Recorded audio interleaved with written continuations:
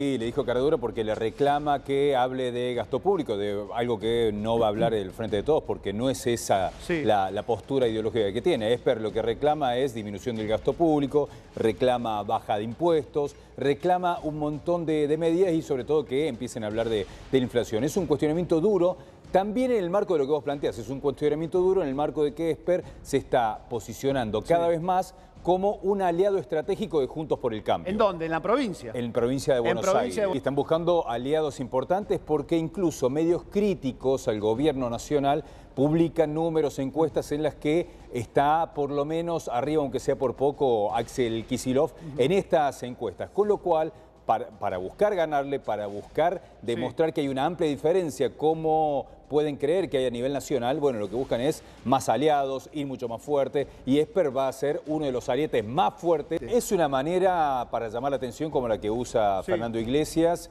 que usa términos muy fuertes como este que le está diciendo Caradura al jefe de, de gabinete. Y si el jefe de gabinete no hace una descripción en detalle de todo lo que está ocurriendo con inflación, bueno, ahí tiene algunos motivos Esper, porque la inflación la están viviendo todos. Sí. La vive la sociedad, entonces es un punto a favor. Después, si le pide qué es lo que se va a hacer a futuro, no es la función del jefe de gabinete contar lo que se va a hacer a futuro. Está, está dando un informe de gestión lo que ha pasado. de todo lo que ha pasado, lo Claro. que ocurrió, y tiene que ir a dar cuentas el jefe de gabinete de todo lo que ocurrió.